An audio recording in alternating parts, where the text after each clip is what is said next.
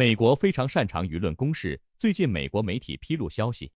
宣称亲乌团体发动了针对北溪管路的袭击，并且公布了相关的证据。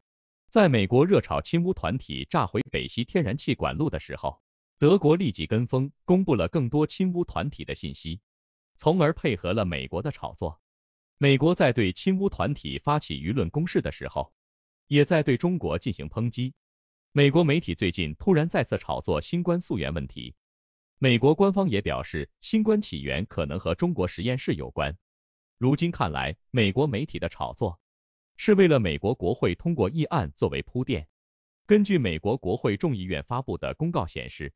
众议院在三月十日进行了就新冠病毒溯源情报解密的议案的表决，当天是通过四百一十九票对零票的结果通过了对应的议案。该议案在议案签署成为法律后九十天内，要求美国拜登政府公布所有新冠病毒溯源的相关情报。美国国会众议院的法案是矛头直指中国的生化实验室。在美国媒体和美国官方再次炒作新冠溯源的时候。世界卫生组织总干事谭德赛已经表态，世界卫生组织会继续推动新冠溯源，并且呼吁中国分享信息。美国国会众议院通过议案，勒令美国拜登政府解密新冠溯源，这是美国国会给中国上眼药的动作之一。世界卫生组织已经多次进行新冠溯源调查，并且前往中国进行实地的调查，给出的结论也是新冠起源和实验室无关。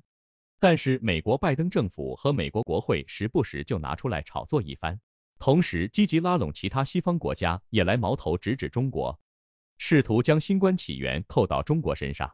美国国会众议院选择三月十日通过要求解密新冠溯源情报，是在世界卫生组织宣布新冠大流行三周年在即的时候，因此是找准了时机的。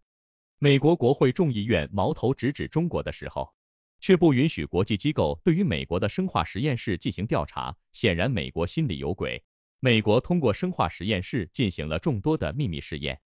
美国在全球众多地区有生化实验室的部署，从而可以进行各类的试验，同时也可以进行样本的搜集工作。美国从来就没有停止在生化领域的各类研究，期间也有多次的生化实验室泄露事故。不过，美国始终拒绝国际机构的核查。包括也拒绝新冠溯源的调查。在中国和美国博弈的阶段，美国不断围堵和遏制中国，美国试图维持自己的霸主地位，为此就有了各类下三滥的手段。美国从二零二零年开始，就在新冠溯源问题上不断抹黑中国。进入二零二三年以来，美国并没有太多的新意，还是抓住位于武汉的实验室做文章。美国不仅仅在美国国内造势。而且还给世界卫生组织很大的压力，试图迫使世界卫生组织站队美国，暴露了美国极其险恶的心。对于美国咄咄逼人的态势是要引起警惕的。关注我，了解更多国际时事。